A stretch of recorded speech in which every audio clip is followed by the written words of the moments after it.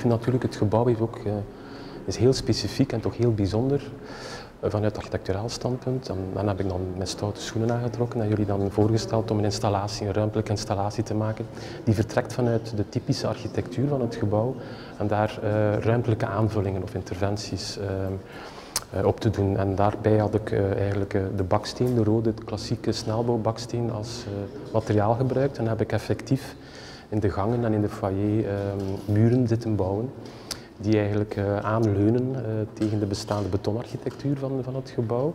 Ook de stad op, op een symbolische manier binnentrekken door uh, eigenlijk het, het, rode van Brugge hè, een beetje in het gebouw te laten doorzijpelen door rode bakstenen muren te maken. En dit werk is eigenlijk een abstracte spin-off, als ik het zo mag zeggen, van die installatie die ik vorig jaar heb gemaakt.